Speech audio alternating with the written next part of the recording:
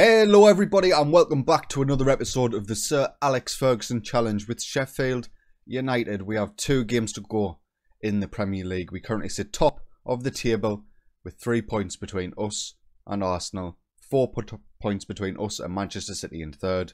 This is absolutely massive. We could win the Premier League title today. So in the previous episode we ended up beating Barcelona in the Champions League semi-final of course and we have Burnley away from home and Norwich at home in today's episode. That takes us to the Premier League table. There we are, three points above our Arsenal and four points above Manchester City. Arsenal, on the other hand, have Spurs away from home and Palace at home, which is definitely a much tougher fixtures list than we have. Manchester City have Liverpool away and Southampton at home, so they both have a difficult game in Spurs and Liverpool.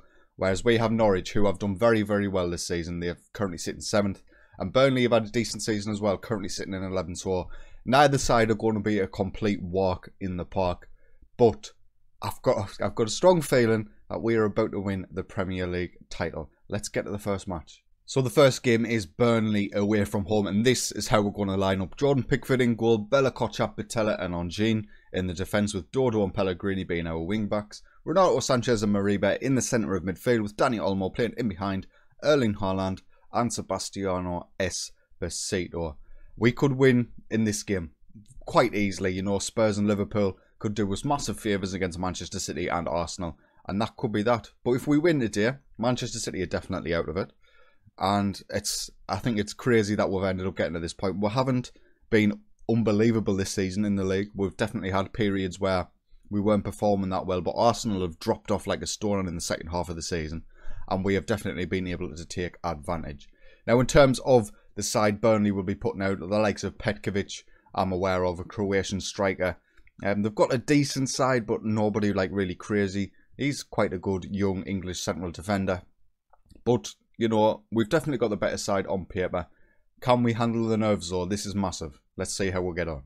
The very first highlight of the game comes two and a half minutes in. It's Burnley coming down this left-hand side with Ante Rebic gets clear, but Angeleri picks it up, gets the ball in. It's Petkovic or Rebic somehow. oh, God, this is going to be an absolute nightmare. I can tell it already. But Burnley with a corner played in by Barrios. It's played in. We managed to get a clear by Batella. Ante Rebic keeps the ball alive though, so the highlight will continue. Please, lads, please just get your foot on this ball and just boot it.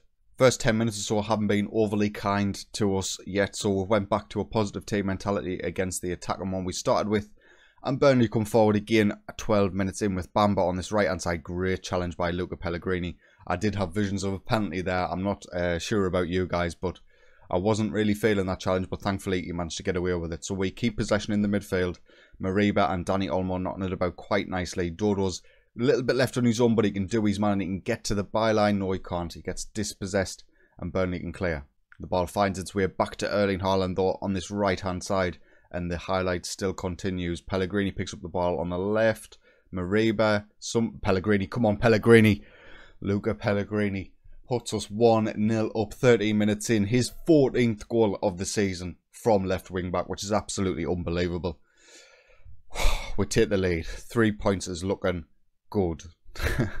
and too early. It's too early, but it's looking all right. We'll uh, we'll have to keep an eye on the latest scores uh, around the other games. If Arsenal don't win today and we do, that's it. It's over. Absolutely over. In terms of the other fixtures, Arsenal are still drawing nil nil, as are Manchester City. So we'll keep an eye on that throughout the rest of the game and hope that the other teams can do us a favour. But with 30 minutes gone, we've certainly come more into this game after the first 10 minutes or so. Let's see how the rest of it goes. Another highlight now. Dani Olmo with a corner. Nick Pope ends up collecting it eventually. Uh, is it going to be a Burnley break? I think it's going to be. They've got a lot of men there, but Pellegrini does well to track back and get back in defence. The highlight continues with Dodo on this right-hand side. He gets past his man, he whips the ball in. Mariba to Pellegrini, hits a post, slides down. Slightly challenging. It's still 1-0. Probably should have been 2-0 there, but unfortunate. Dani Olmo plays the ball in from the corner and that's cleared. That's probably going to be it. Another highlight now, shortly before half time, only three minutes left in the half. Dodo picks up the ball beautifully and goes for goal, but he hasn't got the finishing ability Luca Pellegrini has. Another free kick this time by Dani Olmo's claimed by the keeper. Only injury time remaining in the first half. We need to just get to half time at 1 0, boys. No silly business. Dodo coming down this right hand side. He hasn't really got many options, so he has to turn back to Renato Sanches inside. Dani Olmo goes for goal. And Dani Olmo gets his seven. He's only got seven goals this season, Dani Olmo, but he's got about 25 assists. He has been absolutely superb for us. Um, he's played a lot behind the strikers as Jean Pierre's form sort of dipped, and he's definitely made the most of it. And he's he's probably been my favourite player all season. So seven seven goal of the season, two 0 up, going into half time. That might be the three points. Liverpool are getting beat by Manchester City though, but Spurs are beating Arsenal. That is the result we need to take an eye on. If we were to win today, Man City's result does not matter. Arsenal's result is the only one that we care about. And at 1 0, Rashford giving Spurs the lead. Spurs are going to give us the Premier League title. I can feel it.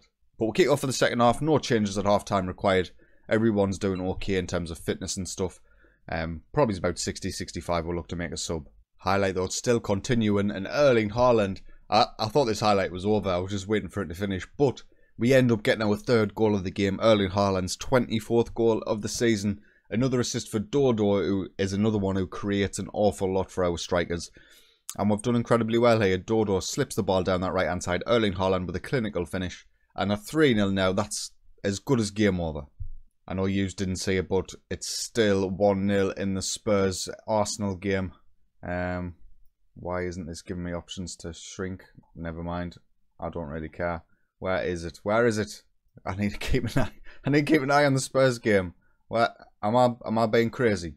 Are they just not showing me that on purpose? Right, we'll ignore. Whatever happened in the highlight, I have no idea. But it's Burnley coming forward now with Anguleri on this left-hand side. Barrios, Gilmour, Jordan Pick. Jordan Pickford has been one of the main reasons why we're winning this league. Or oh, Jack Butland has been fine for the number of seasons we had him. But Jordan Pickford's that just extra level, um, keeping goals out. You know, we might have conceded that on another day, and it might have ended up bearing fruit over the course of a season. But Jordan Pickford has definitely been massive for. I mean, um, Burnley's just scored. Bruno Petkovic with 25 minutes remaining. There's nothing to panic about. We're still winning 3 1. But um, let's make some changes. Luca Pellegrini can come off of Josh Tymon. Um, Reece James is out for the rest of the season, so he's not going to get any more game time. Esposito's not having the greatest one, so we'll get Wayne Knowles on for him and we'll save our final sub for desperate measures. But the Spurs Arsenal game is still 1 0, as there is another highlight. Wayne, Wayne Knowles, he's got 21 goals this season, Wayne Knowles. He is an absolute superstar. His attributes don't show it, but his goal scoring ability has been unrivaled. He's absolutely fantastic, and I love the man. Absolutely great ball over the top. First time finish on his weak foot, half volley to beat the keeper from that angle is absolutely unbelievable and he deserves a knighthood. With 10 minutes remaining or so, Spurs Arsenal is still 1 0 to Spurs.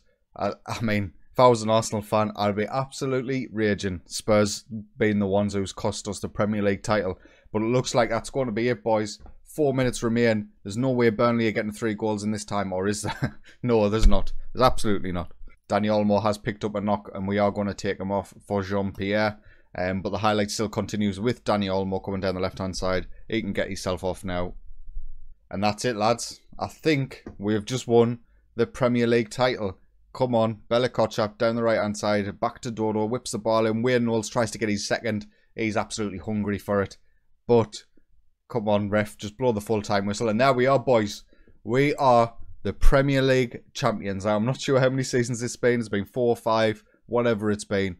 But Sheffield United have done an absolute number this season. We've performed well above expectations. The boys, I mean, I think we've got a title challenging squad anyway, so the quality of the player probably under any manager would have been challenging for the title. But we have wrapped it up. We have got our first Premier League title, and I couldn't be happier. It's absolutely fantastic, the lads. The, where we've come from, 19th in the Premier League, Sheffield United was definitely one of the more difficult challenges in the Prem and they've done absolutely fantastic. 37 games played. We've only lost twice. Brighton and Liverpool, the only teams to defeat us. And fantastic, fantastic stuff. So just getting the congratulation messages coming in. The board delighted with Club Vision progress. Uh, four years ahead of schedule of winning silverware. Uh, it wasn't even part of the five-year plan to actually win the Premier League, so that didn't really get... Um, that didn't really give us any props. We were six to one favourites for the league actually, so I think we were about fifth or sixth favourite for the league title this season. Sheffield United board obviously happy with the Premier League division win. Man City dominated for a while. Liverpool have had the last three. But now we take this one. Medals for the Premier League winners. Everybody fully deserves it. Even Reece James, who's only started one game for us since signing in January. Um, Danny Olmo injured. We knew about that. Roma, whatever. Luca Pellegrini was our man of the match, as he often is. Um, absolutely fantastic stuff. So that leaves us with one game to go of the season in the Premier League. I'm not going to bring you that. Um, it seems pretty pointless at this point to go over that.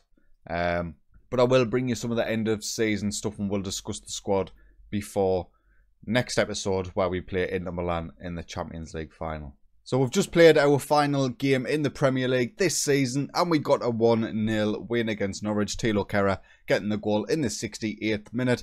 And this is how the final Premier League table looks. Sheffield United are of course Premier League champions Liverpool actually ended up finishing in second position ahead of both Arsenal and Manchester City who well and truly bottled it towards the end of the season but they get Champions League spots anyway. Newcastle, Leeds and Brighton are the relegated sides. Brighton one of the only teams to beat us this season.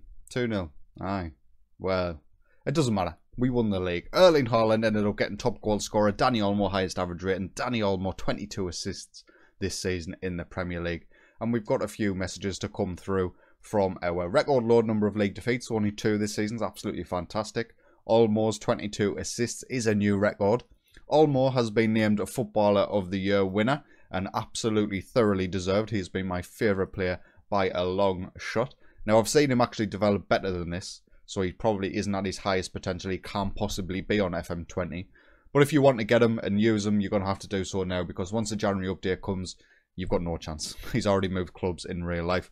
Dani Olmo claims Players Player of the Year. Erling Haaland gets top goal scorer of the year ahead of Vinicius Jr. and Lukas Nmecha. I've never seen him. He's a pretty average striker, but he's done very well. Haaland named as Players Young Player of the Year because he's only 23. Williams named Manager of the Year, of course. George pleased, whatever. Jez George, our Director of Football, is pleased that I've just won. And Team of the Year, it's basically us with a couple of Man City players and David De Gea. Our defence, Renato Sanches and Daniel Olmo, Erling Haaland and Wayne, Wayne Knowles gets in Team of the Year. This guy is an absolute gem. And despite looking at him, his stats, you wouldn't think he would perform that well. But he's got 21 goals in 25 starts with 20 substitute appearances, 6 assists, he has had plenty of game time this season. And he has developed okay, but um, I'm more impressed with the performances he's managed to put out with them limited stats. So I think that's pretty much it for the end of season stuff until next time. Um, obviously, our club vision is looking absolutely fantastic. We've, we've made the most of set pieces, apparently. Uh, playing possession football, playing attacking football, entertaining, high press. Um, not signing anyone over the age of 30. I haven't done that board, so you can start judging me on that. Uh, work within wage budget Spain, fine. Minimum four-year contracts for first-team players. I think I've been doing that. I don't think I don't see a reason why I wouldn't. Um, but we have smashed every single objective this season. And even if next episode isn't a go well, we leave Sheffield United in such a good spot. And we will be finding out what they do when we actually leave the club. So looking forward to the next episode it's going to be the Champions League final against Inter Milan. If if you weren't aware, this signals the end of this series. Champions League final, win or lose, is the trigger for us to move on to something new. And if we can take Sheffield United to win the Premier League and the Champions League in the same season, that would be absolutely unbelievable. But if you have enjoyed today's video, please consider leaving a like. And if you are enjoying my content, get yourself subscribed. But until next time, take it easy.